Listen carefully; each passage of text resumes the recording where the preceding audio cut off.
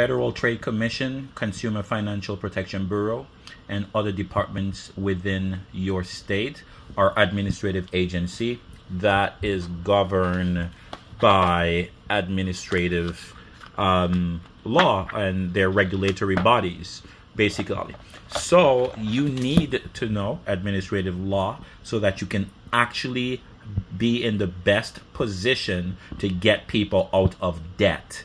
Um, if you know the policies, the rules um, that the regulatory body follows, then you'll be able to properly um, defend against um, the bank's attack, against the con- uh, the the debt collectors' attack, um, and against the um, credit bureau's attack, whether they're publishing incorrect information whether they're not following procedures and law, you need to know administrative law. So the debt, the the credit repair agency that you go to, who don't know anything about other laws, administrative law, or contract law, they just know a few lines on the Fair Debt Collection Practices Act, or a few lines in the Fair Credit Reporting Act, or a few lines in FACTA.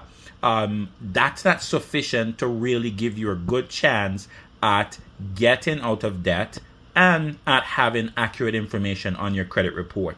You need to know a diverse area of law, which includes administrative law that they usually don't know, contract law that they usually don't know, remedies that they usually don't know. It's not just the you know the the, the statutes pertaining to credit reporting um, a few lines you need to know you have to know more than that so contact Francis Credit Repair Agency and Debt Deletion um, so that we can help you. Francis Credit Repair and Debt Deletion Agency.